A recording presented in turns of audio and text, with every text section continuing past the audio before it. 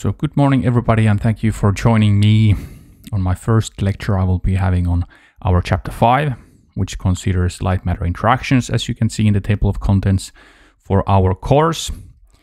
And I really enjoy this chapter 5 because here we now know everything about Maxwell's equations. We know how do we form a wave equation based on them and we know how light propagates.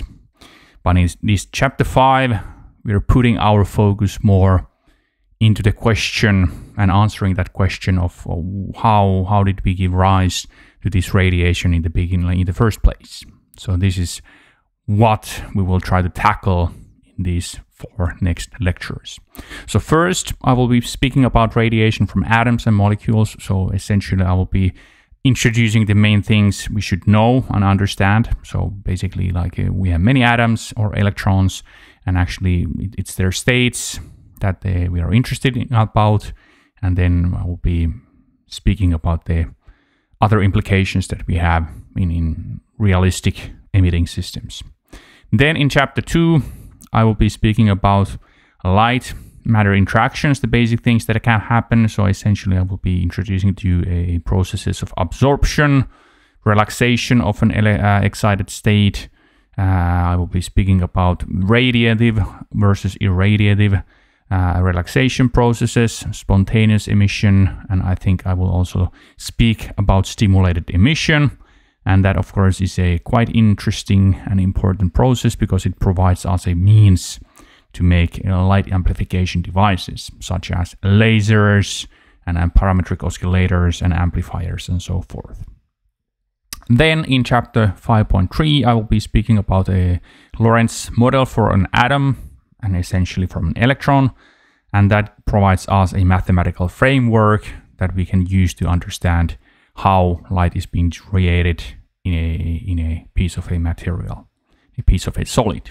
Of course, it's a classical model, so we do not deal much mm, or essentially anything about quantum mechanics of things, but nevertheless, it does provide us a quite good tools to understand how we could calculate, if not quantitatively, at least qualita qualitatively, the refractive index profiles of dielectric materials. And that is of very much of importance and interest in terms of optics. So we're interested in dielectric materials, which essentially are materials that light propagates through them quite happily without being absorbed that much or being deflected, reflected out of the on the interfaces of dielectric materials so that light can actually propagate inside, unlike with metals. And, and then we, we even get to understand how come all materials are dispersive in nature, meaning that the refractive index profile depends on the incident wavelength. And for engineers like me and you, or, or future engineers, it's really the dispersion of the refractive index profile that is the key in many applications. So this is really important lecture I will be having later on. And then finally in, in 5.4, I will be speaking about the laser principle. So essentially I will be showing to you how we could realize a lasing device and what's a lasing action and what is needed. And, and I will be speaking the main things about that so that then we can really understand how we could give rise to light, propagating light. Now that we have the wave equation and we can really understand how it propagates. But also the process of how do we generate light is important. And like I said, chapter 5 is mainly trying to provide you the very basics to understand those processes. We do not put in much uh, of the source terms into the Maxwell's equations, but rather our treatment will be more, more on the kind of uh, macroscopic and general in nature. So not that much of math and, and more more of other uh, other bits of knowledge we must know to get forward. So basically, um, kind of introduction of basic uh, terminology. So this is what I will be speaking about in the next four lectures. And now that I have given you the introduction into the whole chapter, I would like to go and start my actual first lecture. So we're interested in, in radiation of light and then we're essentially looking how atoms and molecules, the kind of tiny uh, fundamental building blocks of our nature, how those give rise to radiation. And we are interested at the optical wavelengths. And here it's essentially the dipolar radiation taking place due to the light matter interaction that is of most importance and relevance to us. So we're really interested in those kind of very small scale emitters, such as atoms and molecules. So fluorescent atoms, fluorescent molecules, quantum dots, and, and how they interact with light.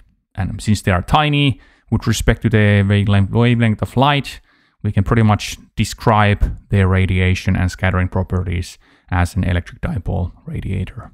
And, and then we, we know the math already, how we could treat these, these kind of scattering processes. Most of the time, when we are actually making, for example, using laser crystals, nonlinear crystals, or, or other, other pieces of matter that give rise to radiation, it's a so-called solid matter. And in a solid piece of a matter, unlike in a gaseous systems, it's really the electronic band structure that dictates the properties of a piece of a solid. We do not speak about those in this course, but please mm, be warned or, or be, be enthused that in the future we will have follow-up courses really focused just on the on the properties of solid matter. So for example, our course on solid state physics that you could find enjoyable and actually quite quite elucidating because that really provides us the key to understand what gives rise to the electronic band structure of solids. So this guy here, this is really the key to understand the properties and then uh, how we could even calculate things based on the electronic band structure. So essentially what kind of atoms the matter consists of and how they are arranged. And this really dictates the properties, but here we do not really like you, we are not interested in that kind of physics. We're just interested in knowing that okay, we have a piece of a solid and it behaves as it behaves.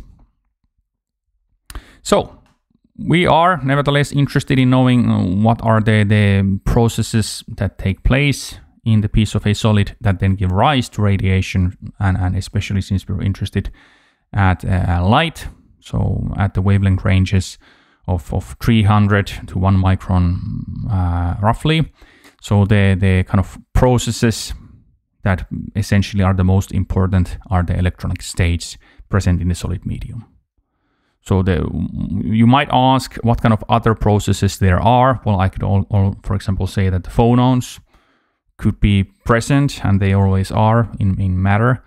So um, those essentially are more more mm, like a, not not mm, electronic states of electrons, but rather electrons are, are vibrating around, or actually the the atomic lattice of our solid piece of a material is vibrating around, and that gives rise to resonances. But here we're more interested in the kind of electronic state resonances and how, how we can excite an electron into an upper state and how it relaxes. And, and with, with those processes, we, we see that absorption takes place and spontaneous emission takes place.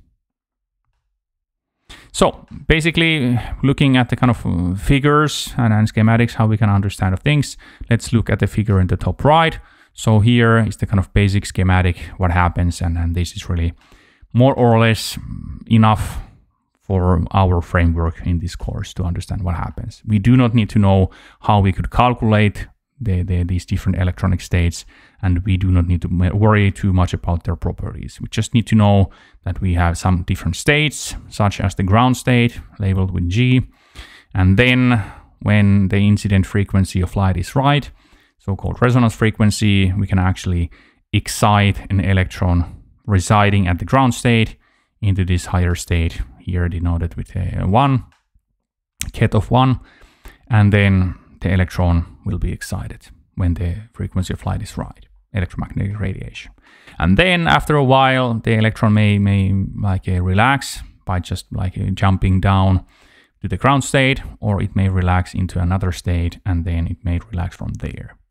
And, and depending on the kind of uh, distances in, terms of energy, the y-axis here is basically energy or, or frequency, it doesn't really matter, it's the same thing in the end. Mm-hmm. then then we may have different kinds of processes taking place at the different wavelengths. And, and, and this is the kind of picture we're interested. So something is being excited and, and what that something is, it's electrons.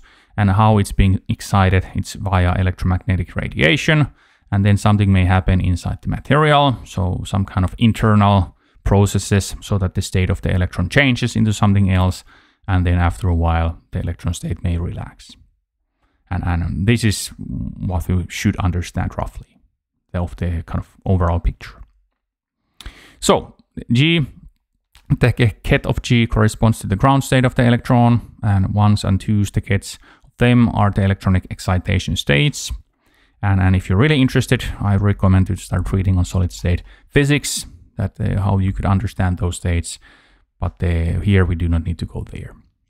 And the energy difference here between the two states, essentially it's, it's directly the energy difference is the, the initial energy, sorry, uh, the, the state of the excited state, so EI, so that could be the energy of, of the state 1 or the state 2 minus the, the energy of the ground state, EG. And here we can calculate how we can link this energy difference with, with the, the frequency of our incident photon. So essentially this nu IG is the, the uh, frequency of, of light that is resonant with the system and an H is the Planck constant. And when, when incident light has that frequency, we can really efficiently excite electrons from the ground state into the excited state. And using the reduced Planck constant and the angular frequency, please remember like what was the uh, definition for reduced Planck constant. It, essentially, it was Planck constant divided by 2 pi. So now we can see how we were able to change the nu, the frequency, into the angular frequency. Same equation, so that gives us the difference in energy between the two states. So here, the good piece of terminology to remember is that this omega ig is the resonance frequency between the states, and, and this is the, the ener energy of interest. So that the, that is with that we can relate with with absorption and emission of light. So it's not really that the, the, the energy, actual energy of a given state is important in terms of mm, light generation and absorption, no, but it's rather the energy difference because what photons are, essentially there are means to transfer energy from point A to point B or, or receive energy from, from the point A. And the final thing or final things that I would want to mention here is that the here what we have in practice in a piece of a practical material is that the, we have electrons there inside the medium and in fact we most of the time also have some kind of ambient temperature so that the matter, piece of a matter is not at a cryogenic 3 Kelvin temperatures, but rather, for example, it could be at the room temperature or even higher. So what that means is that in essence, we actually start having a highly dynamic process or, or a highly dynamic system. Another word describing dynamics usually is the statistics or, or statistical so that one could also say that these processes are statistical in nature. Essentially, like uh, more on these will be described in our course, for example, statistical physics, so FIS 222, and also in the course of solid state matter, and also in the course of, of structure, oh, sorry, solid state physics and, and structure of matter. And, uh, and how come uh, we can link dynamic dynamics and uh, statistical systems together and then process it together is that the in a real system, in fact, we do not have just a single electron residing in these states, but rather we have a, a like a zillion number of electrons present there. So even a single cubic centimeter uh, of a solid piece of a matter has electrons of the order of Avogadro's number, so 10 to the power of 23. And then when this kind of system with a huge number of electrons inside is on some kind of ambient uh, temperature. Like it means that the, the, the, electrons can jump around here and there in the electron state manifold, so, or just energy state manifolds, due to the fact that they have some thermal energy associated with them. And, and this is what gives rise to the kind of dynamic nature of the process. And since the, the processes are, are dynamic in nature, then the, what kind of mathematical tools we should use to understand them, then we must take use of statistical physics and statistical mechanics and statistical mathematics to understand that the, the, these how these processes on average seem to look like. So they are highly stochastic in nature. so it's a dynamic system.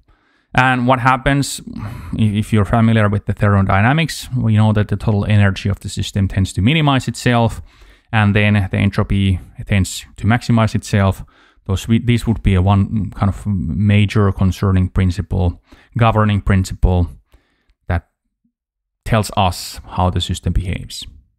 And a second thing that we should remember here is that the most of the time, well, to be pedantic about it, always we are dealing with a non-zero temperature of the system. So even with the, the temperatures approaching zero kelvins, like we can never reach that zero Kelvin ideal temperature. So in principle, always we, we have some kind of thermal energy that uh, is, is present in the electrons. And, and this causes its own effects into the dynamics of the system. So plugging in some numbers, like uh, at room temperature, 300 kelvins, the kBT value, so this is the amount of thermal energy that is associated with each electron on average. Kb is the Boltzmann constant and T is the temperature. That gives us an order of magnitude of 26 millielectron volts.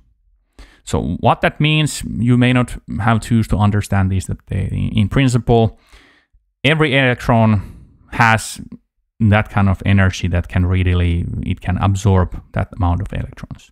When we are dealing with electronic states, the energy difference here is of the order of electron volts. So this, this kind of thermal energy does not do much here, but especially when we're looking at the electron states and its nearby vicinity, so essentially the kind of uh, vibrational and rotational uh, states nearby, those manifolds, then these 26 milli electron volts already starts to be quite a lot of energy so that the electrons can start jumping around into the higher states due to a fact that we, we are having this system at room temperature. And, and this is what gives rise to kind of a little bit more of flavor of complexity into the dynamics of things because at room temperature we should also take into account this fact that the thermal energy of the system may may do its own own thing for the fluctuations of the states. But but more on those things later on. In terms of this course, you do not really need to worry about too much of things. Um, of course, if you're interested in spectroscopy of molecules, then then this might be a good thing for you to remember that it's the temperature of the system that also affects things. Because if you really want to measure, for example, vibrational spectra of some molecules, there it's the room temperature, the ambient temperature that matters also. And then the final things, okay, we have many electrons, like I already mentioned, so that we must be treating the system as a statistical problem. And, and this is why we, we take use of the tools from statistical physics. So excited states, so that will be the case of I, they tend to relax to the lower energy states. So that's of course based on the energy minimization principle. And here, the kind of lifetimes tau of these different states that kind of essentially dictate the dynamics of these processes. In, in normal um, atomic systems, we are speaking of lifetimes of the order of tens of nanoseconds. So that that roughly gives you an understanding of, of, of the kind of time range of the dynamics in, in case of um, atomic emitters and, and fluorescent molecules, quantum dots, and so forth. So things the kind of what happens here, like a, uh, usually we're not speaking of, of femtosecond time scales, but rather of sometime something that is of, of, of short, uh, sorry, uh, uh, slower pace. So that that's what happens. So this was my first lecture. Like I hope this was a good interlude, interlude to the other other lectures that I will be speaking about, and I hoped you you got the main points that they, we have a emitter system and then you know the basic things that we must understand to understand how how these systems can a absorb light and then b scatter and emit light. So I thank you for your time and please stay put for the next lecture. I will be then speaking more about the, the basic light matter interactions. So what can happen in terms of this, this energy scale here. Thank you and bye bye.